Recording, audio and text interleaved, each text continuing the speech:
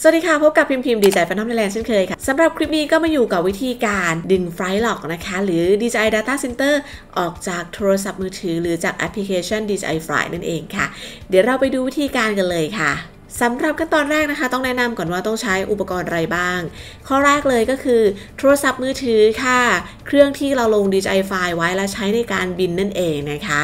อย่างที่ 2 เลยก็คือ สายเชื่อมต่อตัวสมาร์ทโฟน เพื่อเชื่อมต่อเข้ากับตัวคอมพิวเตอร์ อย่างที่3อย่างสุดท้ายเลยก็คือคอมพิวเตอร์ของเราค่ะ เดี๋ยวเรามาดูวิธีการเชื่อมต่อเลยค่ะ อันดับแรกนะคะ เราก็นำตัวสมาร์ทโฟนที่เราใช้เล่นโดรนอยู่ หรือต้องการดึง Flight Log ออกนั่นเองค่ะ เชื่อมต่อเข้ากับคอมพิวเตอร์ค่ะ เมื่อเชื่อมต่อโทรศัพท์สมาร์ทโฟนเข้ากับคอมพิวเตอร์เรียบร้อยนะคะ ของพิมพ์เป็น iPhone เพราะฉะนั้นพิมพ์จะเข้าโดยวิธีนี้ค่ะ แต่จริงๆแล้ว Android ก็วิธีคล้ายๆกันค่ะ คือหาโฟลเดอร์ของแอปให้เจอ และไปดึงโฟลเดอร์ที่มีชื่อว่า Flight Record ออกมานั่นเองค่ะ อันนี้ตัวอย่างนะคะ พิมพ์จะไปที่ไฟล์ค่ะ แล้วก็ไปที่แอป DJI Fly หาโฟลเดอร์ที่มีชื่อว่า Flight Record ค่ะ พิมพ์จะดึงโฟลเดอร์ดังกล่าวนะคะ มาไว้ที่เดสก์ท็อปเลย พิมพ์ทำการดึงโฟลเดอร์ Flight Record มาไว้ที่คอมพิวเตอร์ของเราค่ะ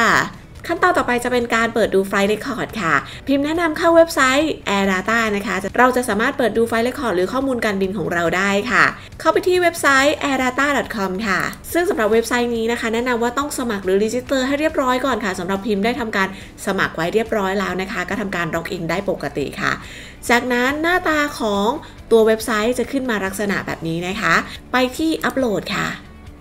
เลือก DJI Flight Record ที่เราต้องการดูข้อมูล เข้าสู่หน้าเว็บไซต์ค่ะ พิมพ์ก็จะลากลงเลยนะคะ จากนั้นเลือกปุ่มอัปโหลดไฟล์ค่ะ รอเขาประมวลผลสักครู่นะคะ และนี่ก็คือตัวอย่างนะคะ ของ Flight ที่พิมพ์ได้ทำการบินมาค่ะ จะปรากฏวันเวลานะคะ แล้วก็ชื่อของตัวโดรน พร้อมทั้ง flight time ทั้งหมด take off แบตเตอรี่ landing แบตเตอรี่นะคะ วันเวลา บอกหมดเลยค่ะ distance ความใกล้ความไกลความสูงนะคะ speed ที่สูงสุด แล้วก็มีอุณหภูมิขณะใช้งานค่ะ อย่างตัวนี้ก็เป็น 49 องศาเซลเซียสค่ะ นอกจากนั้นส่วนสำคัญเลยที่พิมพ์แนะนำให้ดูเวลาเครื่องมีปัญหานะคะ ก็คือตัวนี้ค่ะ notification หรือการแจ้งเตือนนั่นเองค่ะ สำหรับตัวนี้นะคะเขาจะขึ้นมาหมดเลยค่ะว่ามีการแจ้งเตือนอะไรบ้างที่หน้าแอปพลิเคชันนะคะ ก็จะเป็น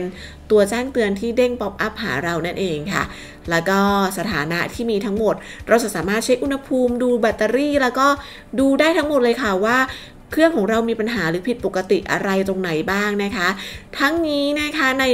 ตัวเว็บไซต์นี้สามารถดูข้อมูลเกี่ยวกับเซ็นเซอร์ก็ได้ control weather หรืออากาศขณะบินก็ดูได้ค่ะ ว่ามีลักษณะอย่างไรนะคะ จะสามารถดึงข้อมูลทั้งหมดนี่ประมวลผลทั้งหมดข้อมูลประมวลผลทั้งหมดเนี่ยค่ะ DJI File Record ส่งให้ DJI Support เพื่อพิจารณาเคส by เคสเกี่ยวกับการส่งซ่อมแล้วก็ประกันต่างๆ ได้นะคะ ในบางกรณีนั่นเองค่ะสำหรับคลิปนี้ก็เป็นคลิปง่ายๆนะคะสำหรับการดึงแล้วก็ดู DJI File Record ค่ะ หวังว่าจะเป็นประโยชน์ต่อทุก ๆ ท่านนะคะ และก็ทำตามสัญญาแล้วค่ะ มาดึงให้ดูแล้วแล้วก็ดูวิธีประมวลผลด้วยสำหรับวันนี้ค่ะต้องขอขอบพระคุณทุกท่านที่ติดตาม DJI f u n ไทยแลนด์เช่นเคย และพบกันอีกครั้งในคลิปหน้าดูแลสุขภาพกันด้วยนะคะสำหรับวันนี้พิมพิมลาไปก่อนค่ะ สวัสดีค่ะ